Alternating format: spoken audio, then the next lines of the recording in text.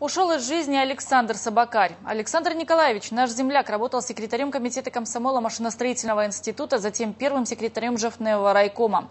Продолжил карьеру на Запорожском электровозоремонтном заводе, а с 95 -го года представитель российских железных дорог в Украине. Был награжден многочисленными почетными грамотами и медалью за трудовую доблесть.